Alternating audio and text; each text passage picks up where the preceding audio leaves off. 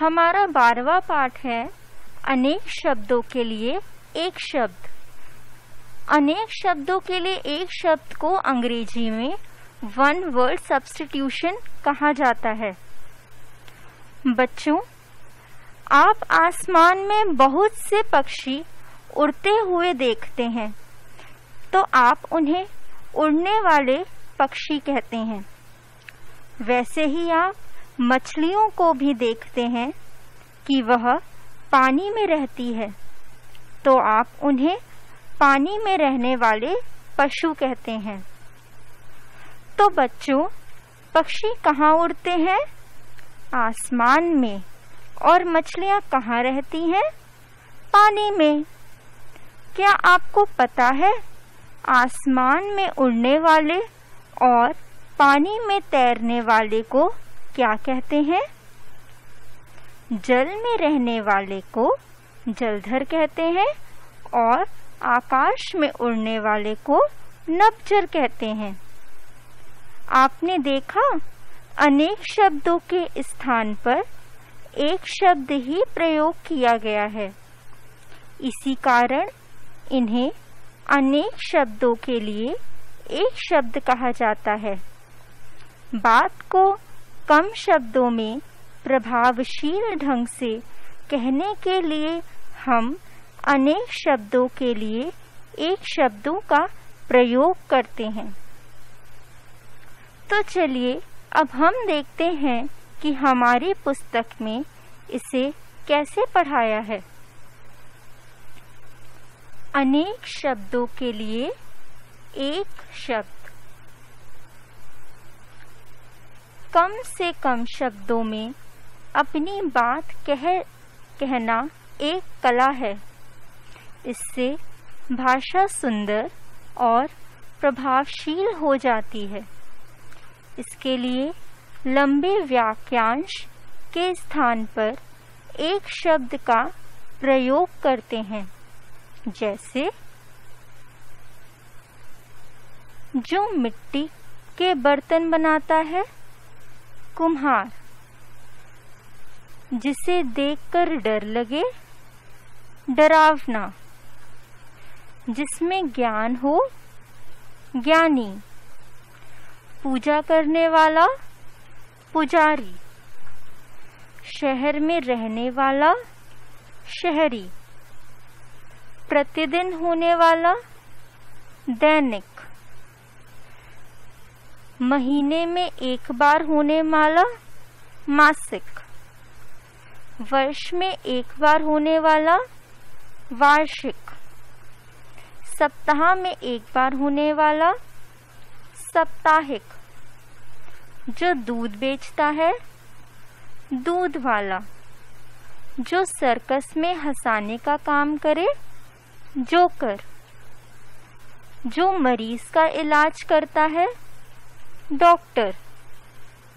जो पत्र बांटता है, डाकिया।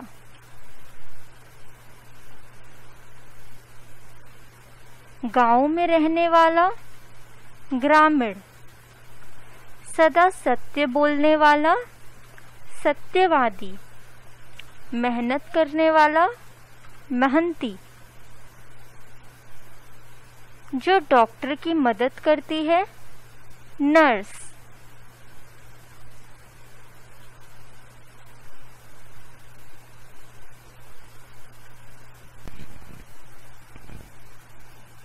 जो जो चित्र बनाता हो, चित्रकार, स्कूल में पढ़ाने वाली अध्यापिका, कपड़े सिलने वाला दर्जी। सेना में काम करने वाला सैनिक। तो बच्चों, हमने क्या सीखा? हमने सीखा बातों को प्रभावशाली बनाने के लिए लंबे वाक्यांश के स्थान पर एक शब्द का प्रयोग किया जाता है।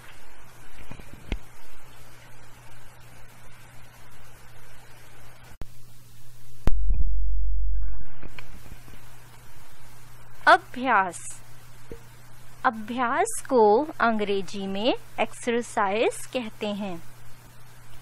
पाठ की समझ। उचित शब्दों के द्वारा खाली स्थान भरिए। का। राम बहुत है। वह सभी प्यासे लोगों को पानी पिलाता है। राम बहुत क्या है? महंती या आलसी? राम बहुत मेहनती है। ग। भारतीय बहुत बहादुर होते हैं। कौन बहादुर होते हैं? सैनिक या कलाकार? सैनिक। भारतीय सैनिक बहुत बहादुर होते हैं। ड. राष्ट्रपिता महात्मा गांधी थे। वे कभी झूठ का सहारा नहीं लेते थे। जो झूठ नहीं बोलता, उसे हम क्या बोलते हैं? सत्यवादी। तो राष्ट्रपति राष्ट्रपिता महात्मा गांधी सत्यवादी थे।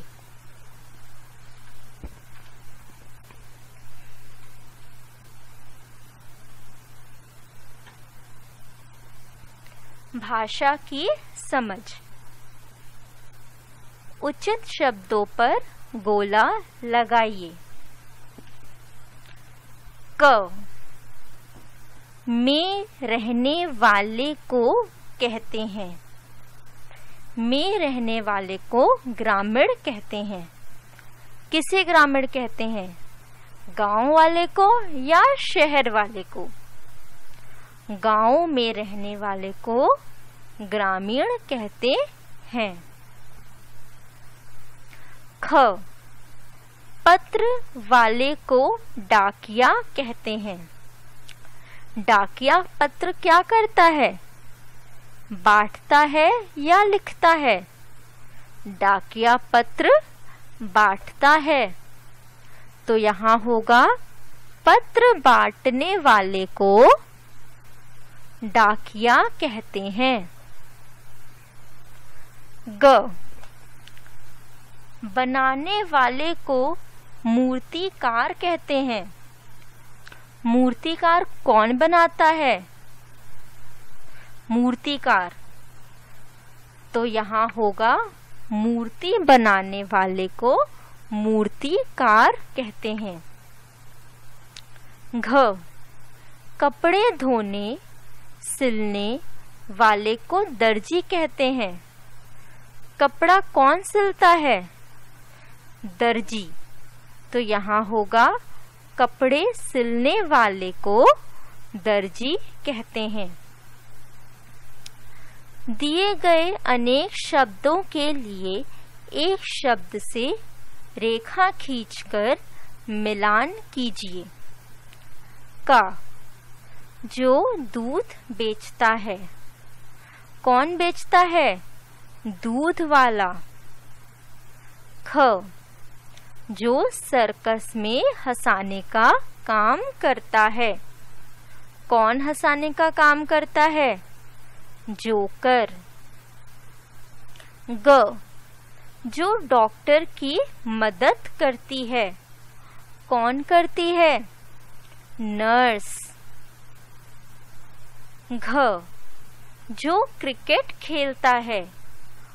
कौन खेलता है? क्रिकेटर। ड, जो मरीज़ का इलाज करता है। कौन इलाज करता है? डॉक्टर।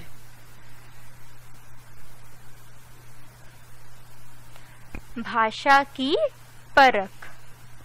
सही उत्तर पर सही का निशान लगाइए।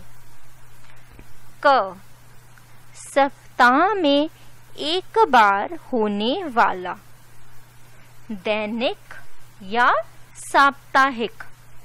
सप्ताह में एक बार होने वाला साप्ताहिक। ख, जो शहर में रहता है, शहरी या ग्रामीण। जो शहर में रहता है, शहरी।